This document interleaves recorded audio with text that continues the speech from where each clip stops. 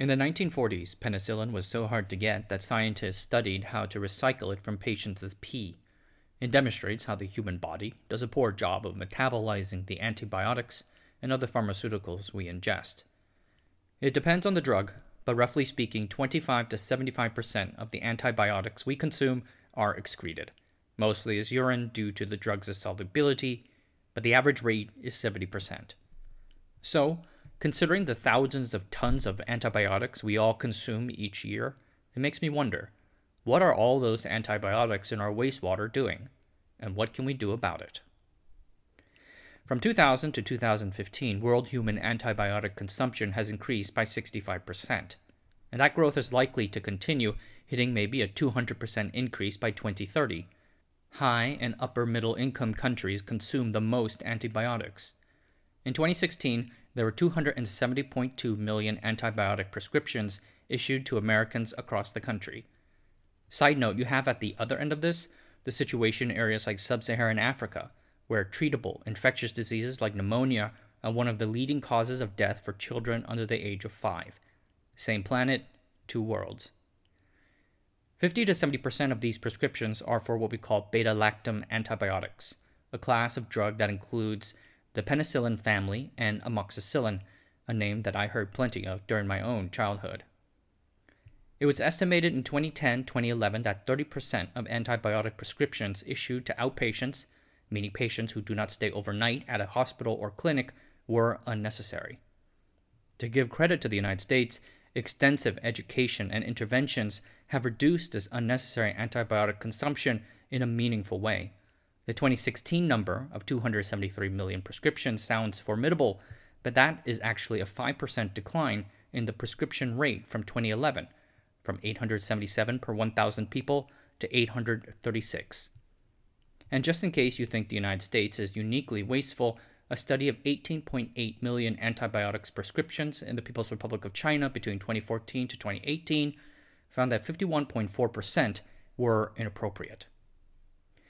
And then we have the largely unmeasured trend of antibiotic consumption by farmed animals on land or in water. Roughly half of the world antibiotics production is used for animals, not humans. And I say roughly because nobody really knows, especially outside of the United States. Farmers who give antibiotics to their animals for non treatment reasons often do so as a preventive measure or to improve nutrient uptake, which helps save on feed costs. I'm going to choose my words carefully here because this stuff is controversial. It can be demonstrated that antibiotics use in farmed animals fish, beef, shrimp, turkey, chicken, pork, so on, promotes pockets of resistant bacteria. And those pockets can infect individual humans. But whether those pockets pose a major transmission risk or is responsible for the current human plague of antibiotic resistant bacteria is less easily proven. Generally, most resistant bacteria infecting humans come from other humans. A 2008 survey by the U.S. Department of Agriculture found that 88% of growing pigs in the United States received antibiotics in their feed. Regardless of what you might think, we probably shouldn't be feeding so much of this to our animals. Since then, consumer and regulatory attention have caused pig farmers to change their animal rearing and feeding practices. A 2017 survey found a 43% decline in antibiotic sales for animals since the 2015 peak year. However, it is unlikely that antibiotic usage for commercially raised animals will ever go down to zero, even with the use of vaccines, strict cleaning, and biosecurity practices. We will still need them to cure serious disease outbreaks, for instance. And I should also note again that antibiotic feedstock is widely used outside the United States too, in 2013, 52% of China's 163,000 tons of antibiotic consumption was by animals rather than humans. A particular concern is the wastewater coming from the healthcare centers, like hospitals. Hospitals consume a lot of water, around 660 to 1,500 liters a day per person, and a 2001 estimate found that a quarter of all antibiotics administered take place inside the hospital. And of course, there are a lot of sick people there. This means significant amounts of hospital wastewater, and this is not your ordinary wastewater. Hospital wastewater not only contains up to 150 times as many antibiotics as regular municipal water, but also high concentrations of antibiotic resistant bacteria and genes. The bacteria by themselves are worrisome enough. Many of these hospital bugs are pathological. But we should also worry about the genes because bacteria can pick up these genes via horizontal gene transfer and then become resistant to certain antibiotics. It is the primary mechanism for resistance to spread. In addition, hospital wastewater is often dumped into the local water system without additional treatment. One assessment of 23 antibiotics from 2017 found that hospitals are responsible for 40% of all the drugs entering the wastewater treatment systems. However, I should add that local load depends on the hospital's size, the sewage system, the country, and so on. All this consumption turns the wastewater treatment plants into hotspots for cultivating antibiotic resistant bacteria. We have been treating domestic as a non industrial wastewater the same way for like 100 years. It is generally a three stage process. I covered this in a previous video about Singapore's NEWater, so feel free to watch that as well. In the first stage, we use various mechanical filters, like sand filters, to sift out all the solid things inside the wastewater. You can imagine what those might be. Chemicals might also be added to break up those solids as well. After that, a second stage works to eliminate organic matter, nitrogen, and other biodegradable items from the water. Most commonly used is a biological process called the activated sludge process. Here, we inject oxygen into a tank full of wastewater. This promotes microorganism growth.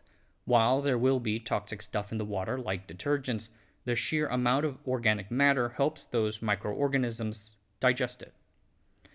After the process, we are left with two end products. First, a sludge that we can recycle into the next batch of wastewater, and second, we get a relatively clean water that we can then treat in the third and final finishing step using methods such as UV radiation and chlorination. The worry is that these wastewater treatment plants are breeding grounds for superbugs. The first antibiotics were naturally made by fungi or other bacteria, meaning that they were quite biodegradable. That is no longer the case. Today's drugs are synthetic chemicals that do not easily break down. Chemists, in fact, engineer these drugs to remain stable for longer because it makes them more effective inside the body. But that also means that they stay stable throughout the wastewater treatment process. At the same time, basically every gene encoding for every known natural mechanism of antibiotic resistance is floating around in this water. It's like leaving big cargo crates of weapons on the video game map for anyone to pick up. So, we're mixing together high concentrations of antibiotics, antibiotic resistant bacteria, and mobile antibiotic resistant genes, along with a bunch of other stuff like heavy metals, detergents, hydrocarbons, and such, in a nice, warm, wet environment. We don't know exactly what happens in there. The presumption is that the antibiotic residues help select for more resistant bacteria by wiping out vulnerable bacteria, disrupting competition from the local ecosystem and letting the resistant bugs reproduce. But we can study the wastewater going in and out of these treatment plants for the presence of antibiotic resistance in certain bacteria. And around the world, multiple studies find that there is a significantly higher prevalence of antibiotic resistant bacteria to one or more drugs in water leaving the plant as opposed to the water coming in. In one case, strains of two bacteria showed increased resistance to 21 out of 22 tested antibiotics after going through wastewater treatment. These plants are literal superbug breeding stations.